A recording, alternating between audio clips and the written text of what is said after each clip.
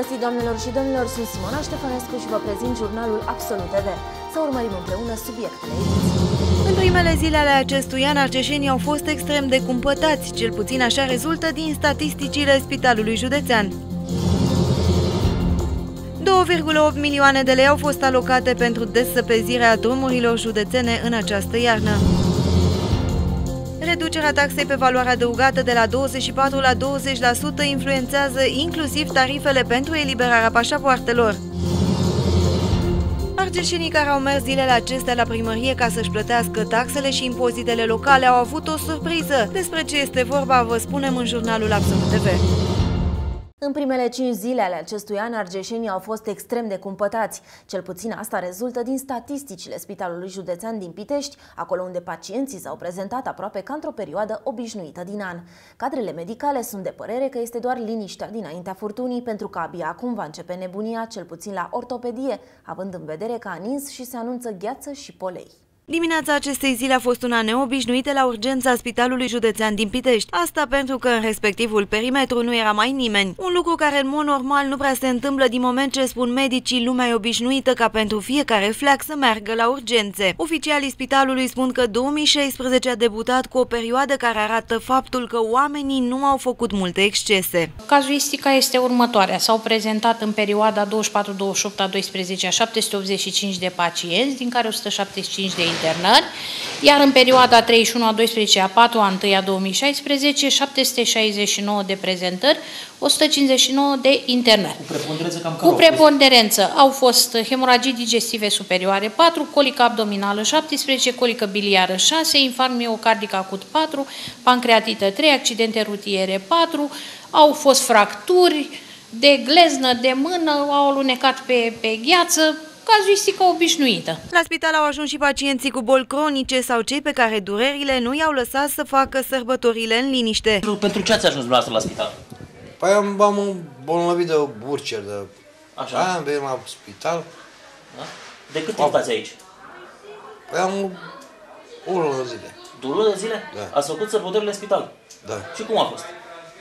Bine. Bine? Era mai bine acasă? Era mai bine acasă, dar dacă așa s-a întâmplat, asta este. Luați tratament? Da. Ce fel de tratament luați? Perfuz, uitați. Sus acolo și... E le bagă pe venă? Da. Am niște pietre la fiere de 2 ani și înainte de Crăciun, în ajunul Crăciunului, am avut o criză mai puternică. Și să înțeleg că v-a lăsat de Crăciun și de Revelion și ați venit acum neapărat. Nu m-am operat de Crăciun și Revelion, că însemna să stau în spital toată perioada asta și am preferat să-mi fac sărbătorile acasă și să vin după. Medicii se așteaptă abia acum la un val de pacienți, în special la ortopedie. Asta pentru că în Argeș și Anins și având în vedere prognoza meteo urmează îngheț și polei, ceea ce va conduce la căzături și implicit la o adresabilitate mai mare la secția de specialitate. Curat materialele necesare, resursa umană și noi suntem pregătiți. Nu ne dorim să avem paciența, dacă e, avem turele puse la dispoziție, absolut tot ce trebuie. Spitalul Județean de Urgență e la foc continuu, cum a fost de fiecare dată în fiecare an. 28 de miliarde de lei vechi au fost alocate pentru dezăpezirea drumurilor județene în această iarnă, dintre care cu 5 miliarde au fost achiziționate materiale antiderapante. După prima zăpadă căzută, prefectul județului Argeș este mulțumit de intervenția autorităților și societăților responsabile și speră că nu vor mai fi probleme nici în continuare.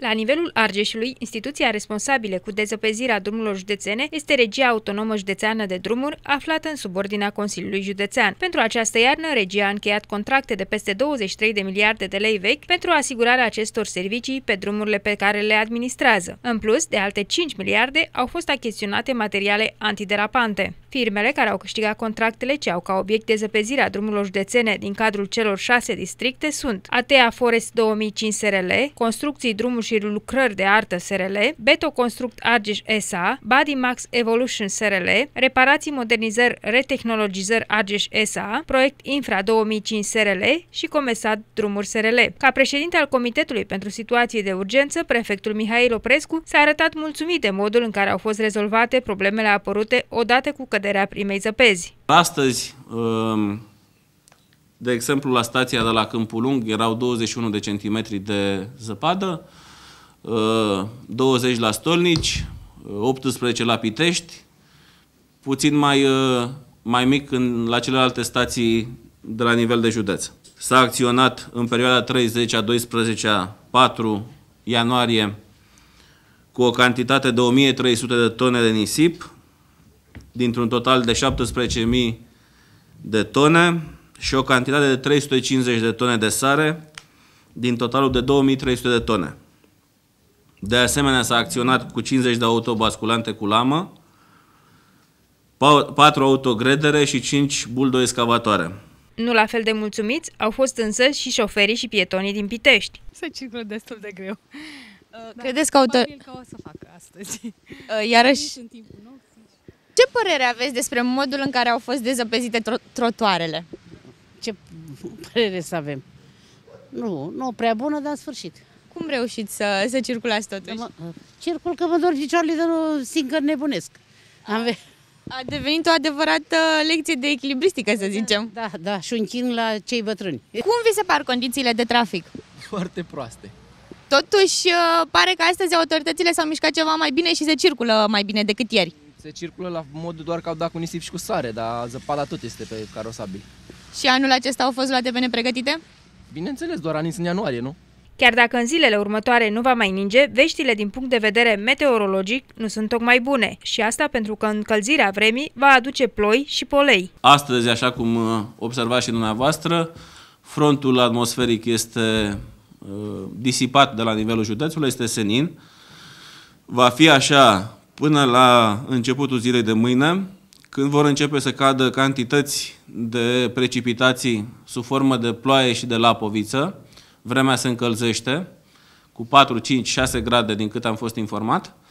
Uh, există uh, datele și premizele să se formeze polei și pe această cale o să vă rog să atenționați populația și pe toți participanții la trafic, dar nu numai, fiindcă poleiul este extrem de periculos și pentru pietoni, că în cursul zilei de mâine se va putea uh, forma această uh, problemă din punct de vedere meteorologic și este bine să se țină cont de acest aspect. De administrarea drumurilor naționale ce traversează județul se ocupă Direcția Națională de Drumuri, secția județeană Argeș. În ceea ce privește dezăpăzirea drumurilor naționale, licitația a fost câștigată de societățile General Trust Argeș SRL și RPM Construcții Drumuri SA, care vor încasa pentru prestațiile acestor servicii peste 100 de miliarde de lei vechi. Meteorologii au emis o informare prin care avertizează că mâine există riscul de formare de polei în condițiile în care în toată țara vor cădea precipitații mixte. Începând din cursul nopții miercuri spre joi vor predomina ninsorile, în special în nord-est și în zona de munte, iar în sud-est va ploua și se vor cumula cantități de apă mai importante. Administrația Națională de Meteorologie a emis o nouă avertizare cu privire la depuneri de polei și precipitații mixte, care vizează intervalul 6 ianuarie ora 4, 6 ianuarie ora 22. Spre sfârșitul nopții vor fi depuneri de polei local în Oltenia, sudul Banatului și sud-vestul Munteniei. În prima parte a zilei de mâine, poleiul se va forma și în restul Munteniei, inclusiv în București, precum și pe arii restrânse în Dobrogea. După amiază și în prima parte a nopții de miercuri spre joi se va forma polei local local și temporar în regiunile din jumătatea de nord a țării. Potrivit ANM, începând din noaptea de miercuri spre joi vor predomina ninsorile, în special în nord-est și în zona de munte, iar în sud-est va ploua și se vor cumula cantități de apă mai importante. Odată ce problema sărăriței care împrăștie materialul antiderapant pe străzile din Curtea de Argeș s-a rezolvat, cetățenii se așteptau ca iarna să fie ca vara, adică fără zăpadă pe străzi. Deși reprezentanții administrației publice locale promiteau că pe străzi se va circula bine, nu s-a întâmplat deloc așa. Pentru ca străzile din Curtea de Argeș să nu mai fie pline de zăpadă și iarna aceasta, administrația locală a fost nevoită să investească într-un utilaj de împrăștiat material antiderapant. Sărărița a fost cumpărată de Consiliul Local și dată în folosință Serviciului Public de Gospodărie. Șeful acestui serviciu spunea în luna noiembrie că în Curtea de Argeș se vor face toate eforturile pentru ca argeșenii să circule bine și când va ninge, mai ales că municipalitatea a plătit 20.000 de euro pe sărăriță. O să avem un uh, dezăpezit uh, eficient în iarna aceasta cu această sărăriță? Păi având în vedere că n-ar fi trebuit vreo trei și nu avem decât una, vom vedea, cum ne, da, vom vedea cum ne descurcăm. Locuitorii municipiului Curtea de Argeș spun însă că dezăpezirea a rămas și anul acesta, ca și în anii anteriori, un vis frumos. Pe străzile importante, mașinile care au circulat au fost cele care au curățat zăpada, iar prin cartiere, soarele a apărut astăzi la Curtea de Argeș. Numai ce e central, restul ignoranță totală. Sunteți mulțumit de felul în care s-a făcut dezăpezirea pe stradă? Dacă e să o luați după mine, nu prea. Vine decât până la un, un punct și după aceea se întoarce. Și anul acesta, faptul că iarna a venit la Curtea de Argeș în ianuarie i-a năucit pe reprezentanții administrației locale. În ciuda pregătirilor anunțate, străzile au fost, ca în fiecare iarnă, pline de zăpadă. Reducerea TVA de 24% influențează inclusiv tarifele pentru eliberarea pașapoartelor. Astfel, de la 1 ianuarie pentru pașaportul simplu temporar, prețul va fi de 97 de lei. Serviciul Public Comunitar pentru Eliberarea și Evidența Pașapoartelor Argeș anunță că începând de la 1 ianuarie au scăzut tarifele pentru eliberarea pașapoartelor. Reducerea vine ca urmare a modificării cotei de TVA de la 24% la 20%. Prețul acestor uh, blanchete de pașaport va fi pentru un pașaport simplu temporar 97 de lei, pentru un pașaport simplu electronic cu valabilitate de 5 ani 261 de lei, și pentru un pașaport simplu electronic cu valabilitate de 3 ani, 236 de lei, uh, mai mic decât uh, ceea ce a fost până în prezent, iar aceste prețuri intră, au intrat de fapt în vigoare cu data de 1 ianuarie anului curent. Taxele achitate anterior rămân valabile chiar dacă sunt folosite după această dată și fără a se proceda la restituirea diferenței de preț. Argeșenii care au mers zilele acestea la primărie ca să plătească taxele locale au avut o surpriză neplăcută. Funcționarii au luat banii, dar aceștia au stins întâi amenziile neplătite de contribuabil și abia apoi taxele locale. Dacă aveți amenzi neplătite de mult timp, trebuie să știți că a venit momentul să le plătiți. Asta pentru că la primărie, dacă vă duceți să vă achitați taxele și impozitele locale, nimeni nu vă ia banii până când nu vă plătiți amenziile. Începând cu 1 ianuarie 2016 se sting cu prioritate amenziile contravenționale individualizate în titluri executorii în ordinea vechimii, chiar dacă debitorul indică un alt tip de obligație fiscală. Se arată în articolul 165 alineatul 2 din Codul de Procedură Fiscală fiscală. Începând din, uh, deci cu noul cod de procedură fiscală, ordinea de încasare pentru 2016 a debitelor este pe locul întâi amenziile și apoi impozitele care le datorează, debitele care le datorează.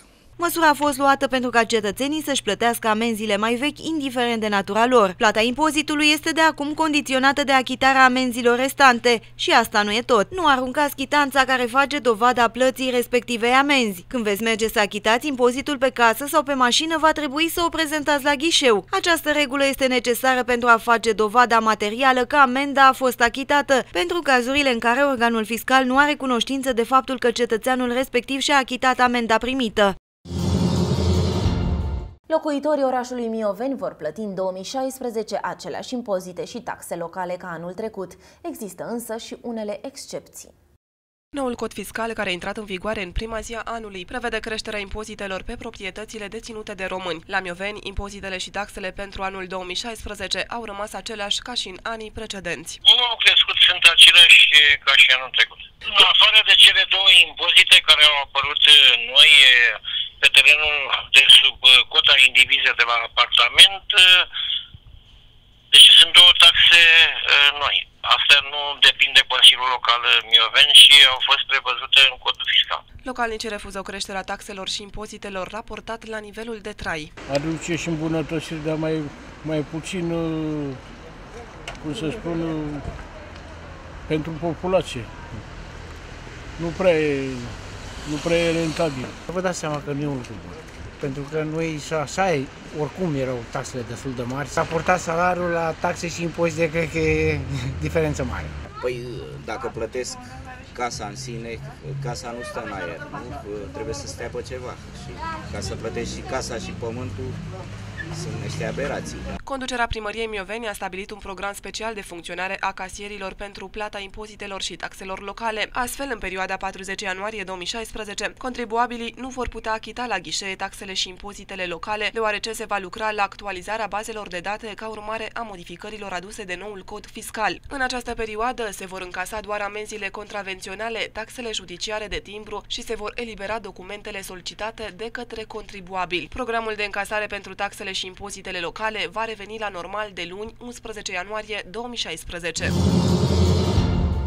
Sfârșitul anului 2015 a făcut ca în cartierul Vișoi din Câmpul Lung să fie nevoie de intervenția pompierilor și a poliției. Alertați că la blocul 17 a dispărut o femeie. Sosiți la fața locului, pompierii au trebuit să facă muncă voluntară pentru a scoate din garsoniera respectivă câteva mașini de gunoaie. Din fericire, alarma a fost falsă, în locuință nu se afla nimeni. Luni, 28 decembrie 2015, la blocul 17 din cartierul Vișoi, după ora prânzului, un Câmpulungean a sunat la serviciul de urgență 112 pentru a anunța că mătușa sa nu este de găsit de ceva timp. Echipajele pompierilor și poliției au ajuns rapid la fața locului, unde au avut parte de o priveliște înfiorătoare. Deschizând ușa garsonierei în care li se precizase că ar fi femeia de 70 de ani, au dat peste un maldăr de gunoaie și de un miros insuportabil. Panica a cuprins vecinii care au rugat pompierii să caute în muntele de gunoi pentru a vedea dacă nu cumva printre peturi, ambalaje, resturi menajere și resturi alimentare se găsește și cadavrul bătrânei. Astfel că salvatorii câmpulungeni au fost nevoiți să-și pună măști și să facă pe gunoierii scoțând din garsoniera cu pricina mai mult de o tonă de gunoi.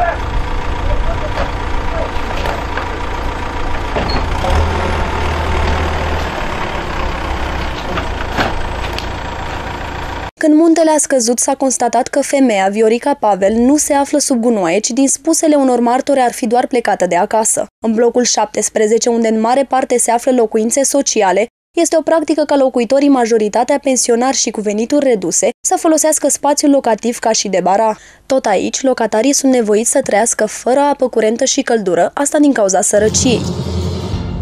Cu doar două zile înainte de sfârșitul anului, consilierii locali din Câmpul Lung, strânși în jurul mesei rotunde, au avut de dezbătut numai puțin de 17 proiecte de hotărâre. Cu toate acestea, aleșii locale au fost eficienți, încheind ședința într-un timp record. Pe ordinea de zi au fost 17 puncte care au fost aprobate într-un timp record. Cele mai discutate proiecte de hotărâre au făcut referire la prelungirea termenului de valabilitate pentru realizarea planului de urbanism general, plan pentru care Consiliul Județean a alocat bani, dar așa cum se întâmplă la Câmpul Lung, aceștia au fost returnați, deoarece nu s-au cheltuit în timp util.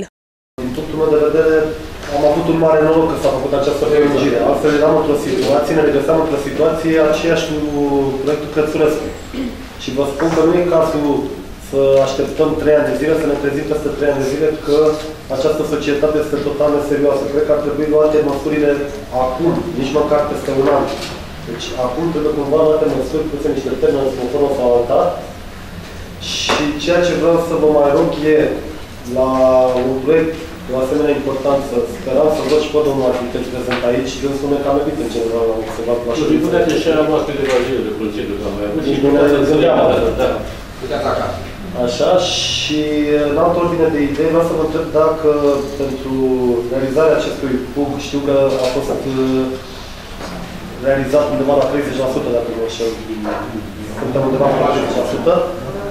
Uh, Dacă nu ar fi necesară și o dezbatere publică și o discuție la care să fie invitați cetățenii în Câmpul Lungului, pentru că mai sunt în Câmpul Lung cetățeni sau, mă rog, diverse ONG-uri sau diferite societăți care au propuneri pentru uh, realizarea acestui punct și poate ar fi bine să facem o dezbatere publică.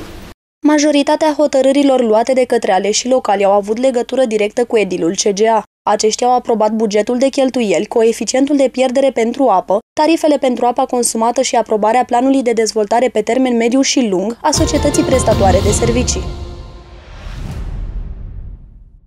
Început pe finalul anului trecut, campionatul județean de fotbal în sală s-a încheiat duminică la Sala Sporturilor.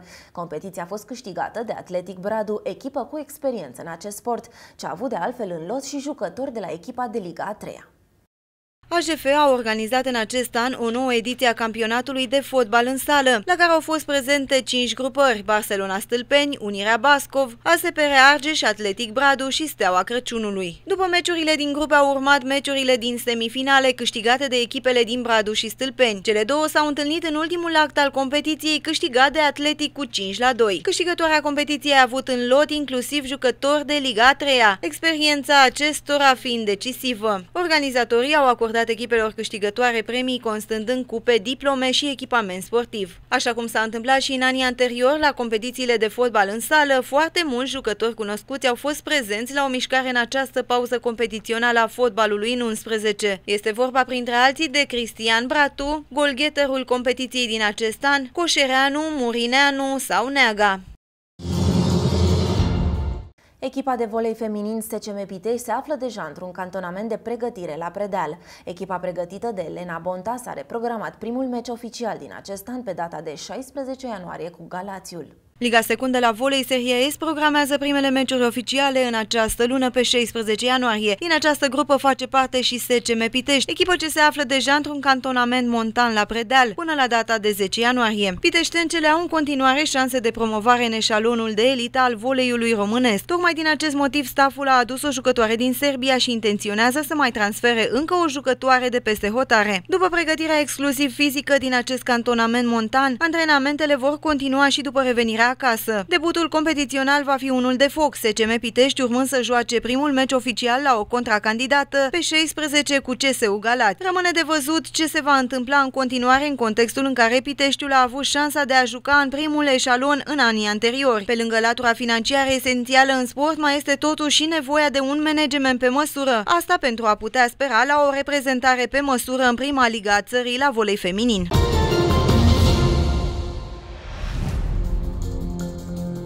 Valorile termice vor continua să crească, urmând a se situa în jurul mediilor climatologice specifice acestei date din an. Cerul va fi noros și se vor semnala precipitații predominant sub formă de ploaie. În prima parte a zilei se va depune polei, cantitățile de apă vor fi mai însemnate. Vântul va sufla moderat cu intensificări temporare. Temperaturile maxime se vor încadra între minus 1 grad și 4 grade, iar cele minime între minus 2 și 2 grade. La munte, valorile termice vor continua să crească, urmând a se situa în jurul mediilor climatologice meteorologice specifice acestei date din an. Cerul va fi noros și se vor semna la precipitații predominant sub formă de ninsoare. Izolat se va depune polei. Vântul va sufla slab și moderat cu intensificări temporare pe creste.